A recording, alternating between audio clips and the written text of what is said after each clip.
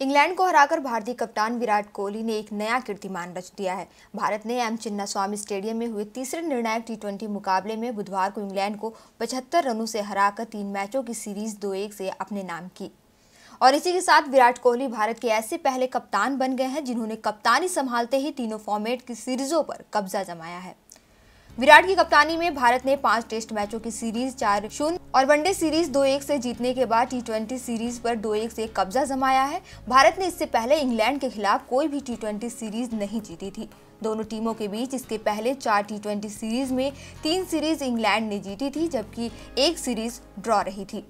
इस जीत के साथ विराट की कप्तानी में इंग्लैंड के खिलाफ टी सीरीज़ में पहली जीत का नया रिकॉर्ड भी जुड़ गया है। वहीं इस जीत के हीरो रहे लेग स्पिनर यजवेंद्र चहल। पूरे देश की नज़रों में हीरो बनकर उभरे हैं।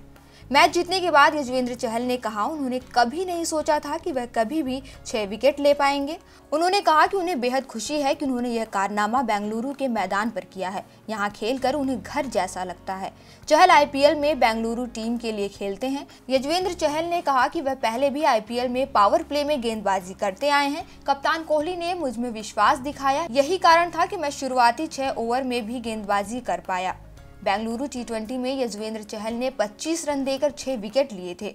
चहल अंतर्राष्ट्रीय टी ट्वेंटी क्रिकेट में एक पारी में पाँच से ज़्यादा विकेट लेने वाले पहले भारतीय गेंदबाज हैं। वहीं श्रीलंकाई गेंदबाज अजंता मेंडिस के बाद चहल दूसरे गेंदबाज हैं, जिन्होंने अंतर्राष्ट्रीय टी ट्वेंटी क्रिकेट में एक पारी में छः विकेट लिए हैं। देखते रहिए डीपी लाइव